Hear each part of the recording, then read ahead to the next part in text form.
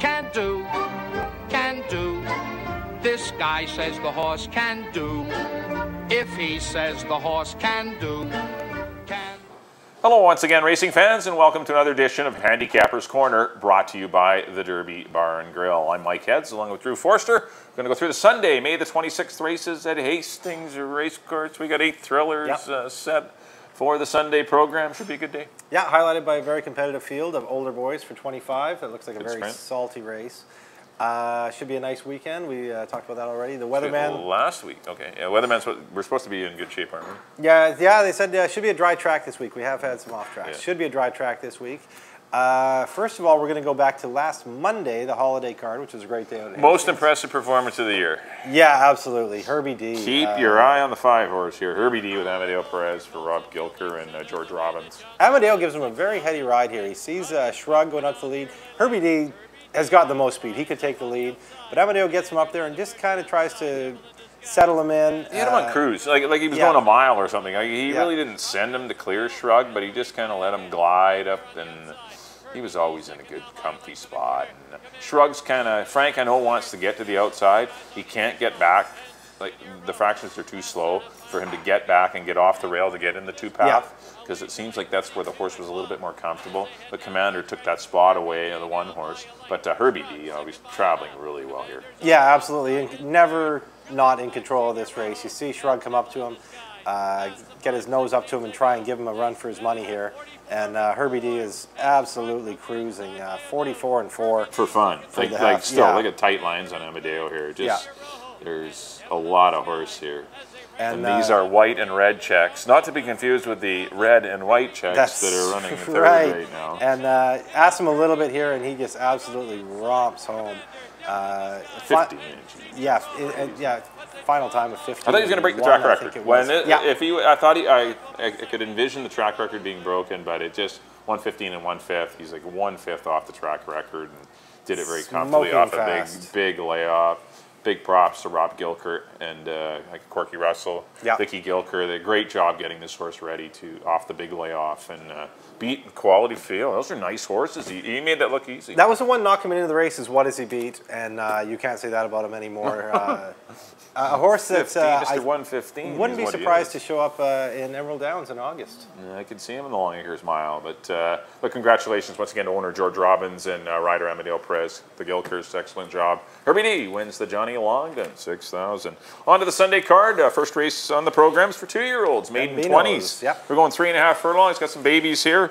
Uh, I've gone to the one horse Miss Dickey. Uh, Troy Taylor has three in here, and you know Aaron Grider's going to be on the livest one, and uh, so I'm going to land on the son of or daughter of Sir Galovic. Uh, pretty nice works there, 48 and change out of the gate, and uh, I, I'm not crazy about the post, but you can't have everything. But uh, right. the one Miss Dickey to win it, put the five Hanrahan uh, in for second. Colt by Matty G for Greg Tracy, who does a very good job getting his two-year-olds ready. He's an excellent pre- preparer of, of two-year-olds. Uh, so don't be surprised if this horse even wins the race. And the sixth horse, No It's Alley, uh, put that one in for third. Uh, a, a daughter of Cause to Believe also has excellent works. Enrique Gonzalez, the number two rider of the uh, North American Thoroughbred Yes. Corp. So uh, I went one, five, and six. Miss Dickey to win it. I agree with Miss Dickey, and uh, I don't know if the post would be much problem for her because she's very quick out of the gate.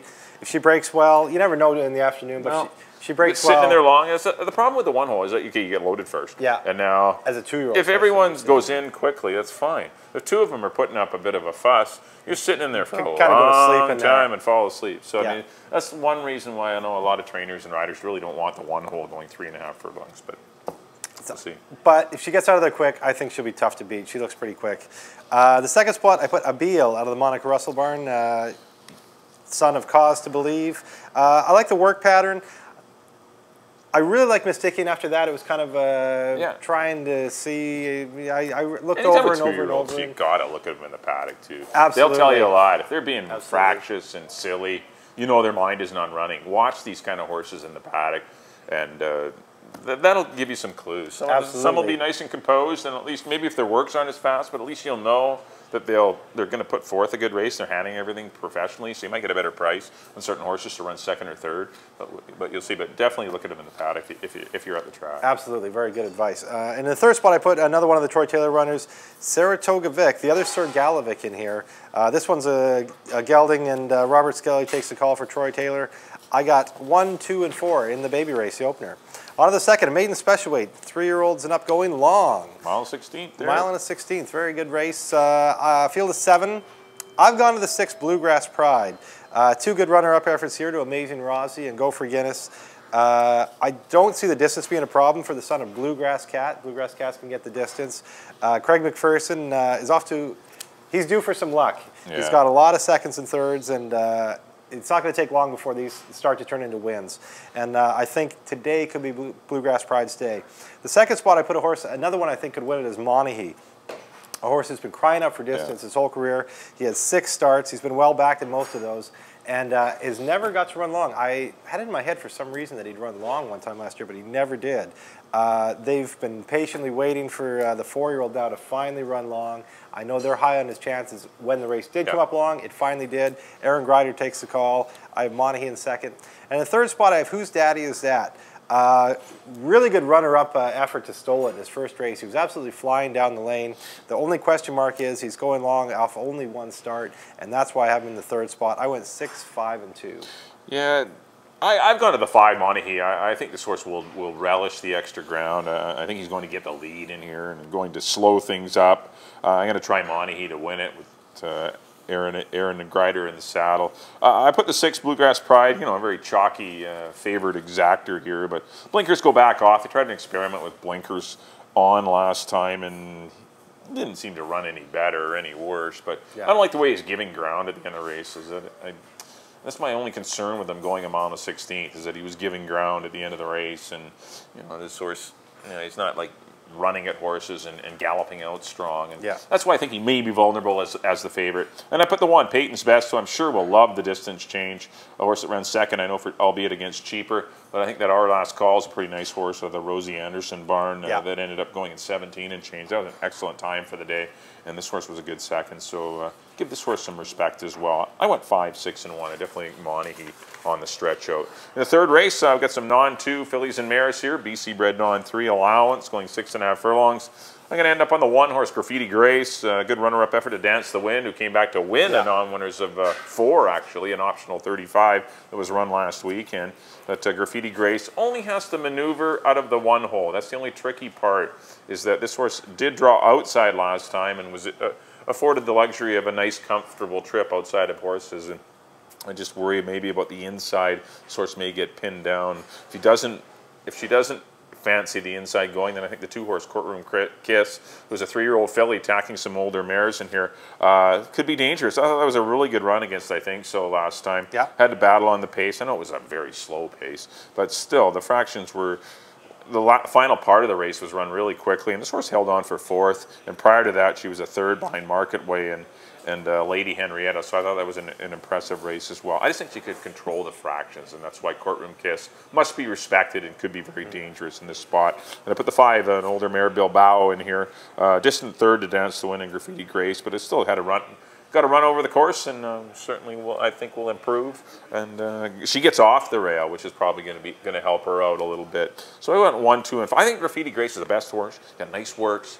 I just concerned a little bit about the post draw, but I went one, two, and five. I agree. I think Graffiti Grace is a monster in here, especially with the way uh, Dance the Wind came back Mm-hmm. and crushed that field last week. So uh, I got Graffiti Grace on top as well.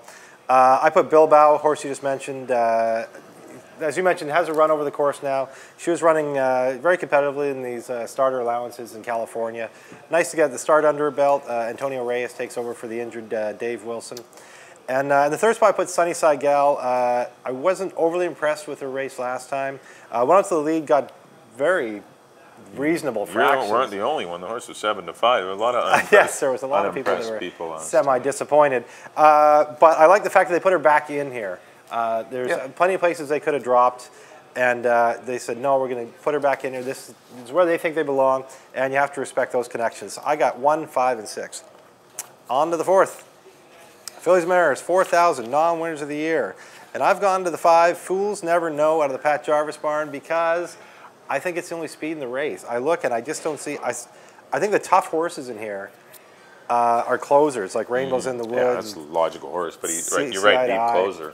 So uh, I think fools never know. Frank Fuentes is having a very strong meet. I think he's going to be able to control the pace on this horse, and uh, she might just sneak off and win it. I put Rainbows in the Wood, who's uh, ran three very solid races this year. Yeah. Uh, always seems to run late. Two seconds to Hidden Harbor, who's uh, the kind of boss in this category. Uh, and in the third spot, I put CI to Eye. Uh, good second, first time out this year. Then uh, come back over a nasty track where it was kind of speed favored. Nobody was making up much ground that day. And uh, I, I just kind of tossed that race out. She gets a dry, dry strip. She's had a nice little breather. She should be fresh. So I put her in the third spot. I went five, seven, and eight. Yeah, I've gone to the seven rainbows in the wood. I'm, you know, going to be the favorite, likely. Uh, 14 to 1 last time, probably going to be 3 to I'm 1 really not or gonna get 5 that to this 2. time. But uh, big run from off the pace. I know the fractions were a little helpful for her, but uh, still not a tough field. I, I, I see maybe the 1 Susan's Luck and the 5 Fools Never Know hooking up. And uh, I, I, I, I think I'd look for the 1 Susan's Luck to run a little bit better. Yeah. Uh, I thought this horse got caught up with a pretty good my bailout last time, and uh, a lot easier, I think, with Fools Never Know is your pace pressure. So Yeah. a couple of good works too for, for Jim Brown. I respect the barn, uh, but Rainbow's in the wood for me. Uh, Susan's Luck second, and I put Call Me Jewel, who had a probably a little closer to the pace than. Uh, this filly would have liked and uh, went off Lasix for her uh, 2013 debut. Continues to run without Lasix, but uh, I think her best race is when she's held in reserve the first part and get running. So maybe look for her to come running late if the fractions are fast and maybe get in there at a good price. Oh, it's seven, one, and six. On to the fifth race. Start of the pick four. 4,000 non threes going six and a half. I'm going to go to the four horse Count Green. I see a pile of speed in here. I see Joshua Jet Fuel going.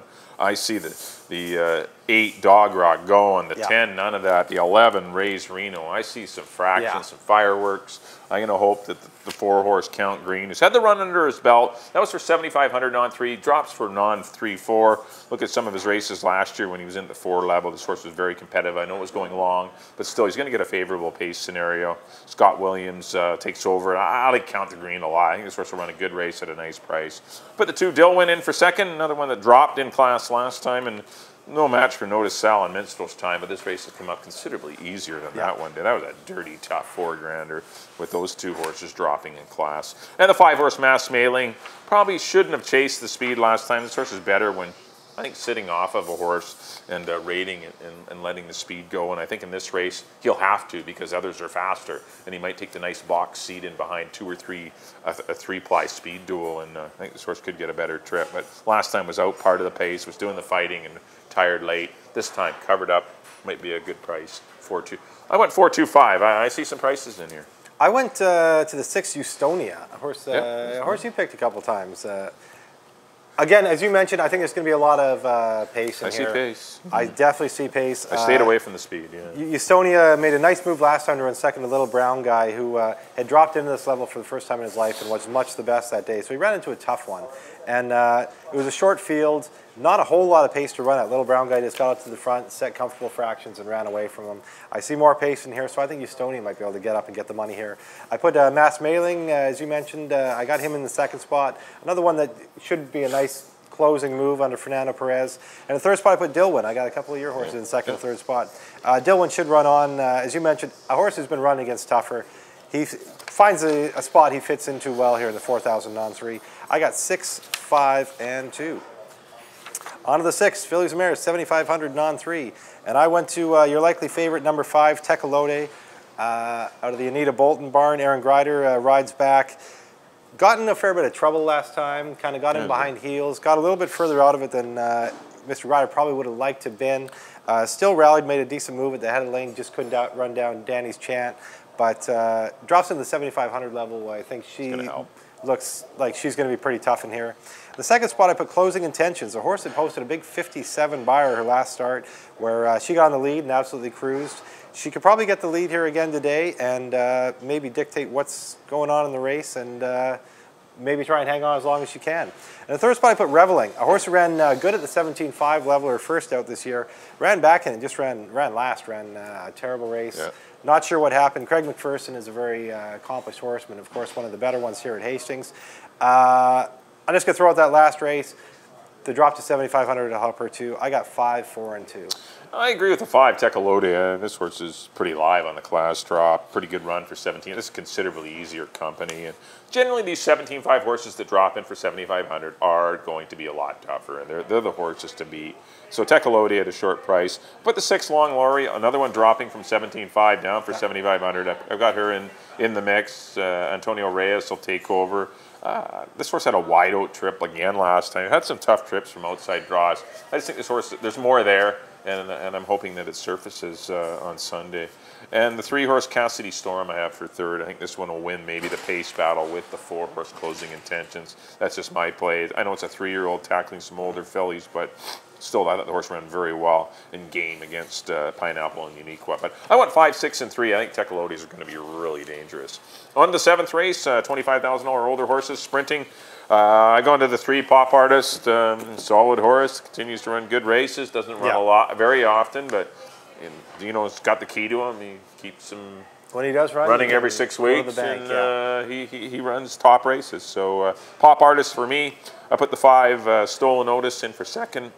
Wide out trip and a big bulky field at 25 claimers last time. I know that traffic troubles will be a lot less in this particular race. There's only six other rivals instead of uh, ten other rivals like he had last, or nine other rivals like he had last time. But Stolen Otis, I think, better trip for him. And I put the four horse uh, Ganbei, who ran lights out last time, was closing up very well. And was put a little scare in a Stormy Canuck at the end of the race. So I, I like him. I like him better going long, but uh, still he surprised me sprinting and ran a good race. But uh, I like Pop Artist. Uh, he's a cool horse and uh, going to be dangerous. Three, five, and four. I agree. It's tough to go against pop Artist. He just he just seems to win, Not right? He just just wins and wins Boring. and wins. And uh, I put Gambia, horse you mentioned, second spot. Yeah. Uh, very classy old guy. He's made 176,000. Uh, he, he's always running at the end. He'll be running at the end again if he if there's enough room for him to get up there. That's the question. As you mentioned, probably a horse that would fit better going a little bit further, but ran a bang up race second Stormy to Stormy Canuck. In the third spot, I put Mears Miracle, a horse that ran a good second to Pop Artist, first started out in the year, and then came back in that last 25 and kind of got fried on the front end. He was went in very quick fractions, 21 and 4 and 45, uh, under a fair, fair bit of pressure, and just kind of faded back. Only still only got beat two and a half lengths. Uh, I think if Grider can get him to maybe settle a little bit and Yep. be running at the end, he could make a little bit more noise in here. Uh, Mia's Miracle in third. I got three, four, and six. On to the nightcap. Three year olds and up, maiden, 10,000. Uh, I've gone to the three Car Talk. Uh, horse ran a good uh, third behind Michael's Glory. Be interesting to see how Michael's Glory runs in that 25. That'll kind of give you a little uh, indication maybe of where Car Talk fits in here. Uh, Michael Glory Right. comes out, makes some noise in that 25. You'll know that uh, Car Talk got beat by a decent horse. Uh, in the second spot, I put uh, a horse that could well be your favorite, Lord Harlow.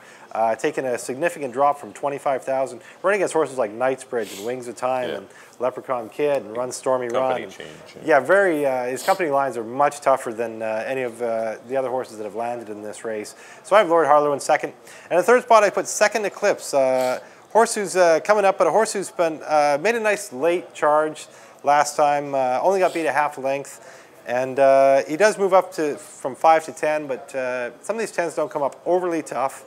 Uh, I was looking for a horse to put in third. Uh, could have went with Block or another dropper, but I ended up on second Eclipse. I got three, seven, and five. Yeah, I like the seven horse Lord Harlow. I think this horse is pretty live. Uh, it was definitely bred to get the dis- distance. Just an even effort last time against way better maidens. I, I, I just think Lord Harlow is going to be extremely dangerous. Good works, couple of minute and change works. The distance change helps. Leading right, last year's leading rider, Amadeo Perez. I mean, there's a lot of positives here Yeah. for the seven Lord Harlow. His main danger will be the three car talk, as you mentioned, a good third to Michael's Glory, but he's definitely bred to run on. He's by Bernardini Yeah. out of a deputy minister mare. There's lots of distance in the pedigree, and uh, Robert relaxes horses very well. So I mean, this, this guy will, will definitely run on, I think. And uh, I got car talk talking for second. I put the one Block Door you mentioned uh, uh, in on the class drop in for third. Uh, definitely. This race has come up a little tougher for him with some class droppers, but he's uh, still he's got to run a couple of good races already this year. He's pretty game. Maybe he can get the lead and uh, be be dangerous. But uh, it's seven three and one. Uh, for me in the eighth and final. And that'll do it for our analysis of the Sunday, May the 26th races. Next up on screen will be a quick recap. We'll get the slate up here for my selections for the, the Sunday program. Back in race number one, I went to the one, Miss Dicky, one, five, and six. In race number two, I went to the five, Monaghy, five, six, and one. Race number three, the one, Graffiti Grace, one, two, five. Race number four, the seven, Rainbows in the Wood, the seven, one, and six. Race number five, I went to the four, Count Green, four, two, five. Hopefully we're counting some green. The sixth race, went to the five, Tecolote over the five, over the six and three. So five, six, three for me in the sixth. In the seventh race, number three, Pop Artist, three, five, and four. And the eighth and final, number seven, Lord Harlow, seven, three, and one. On to my picks. There we are. I agree with Mike in the first. Number one, Miss Dicky over the two and the four. In the second, I went to the six, Bluegrass Pride over the five and the two. In the third, probably my best bet of the day here, number one, Graffiti Grace over the five and the six. In the fourth, number five, Fools Never Know, looking for him to dictate the pace over the seven and the eight. In the fifth, I went to the six, Eustonia over the five and the two. In the sixth, I agree with Mike on number five, Tecolote over the four and the two. In the seventh, again, I'm with Mike on number three, Pop Artist. Tough to bet against him over the four and the six. And in the nightcap, I went to the three, Car Talk over the seven and the five. Well, that'll do it for the Sunday, May 26th edition of Handicapper's Corner. Hopefully you enjoyed everything. Uh, pretty impressive performance from Her- Herbie D last week, though. That was huge. Uh, Absolutely. uh, As you mentioned, probably the most impressive uh, Oh, race of the year. That, that was so cool. Well, anyway, good luck, everyone, uh, in your wagers on the Sunday program. And we'll- thanks for tuning in. We'll see you next time here at the Derby Bar and Grill on Handicapper's Corner. If he says the horse can do, can do, can do. I can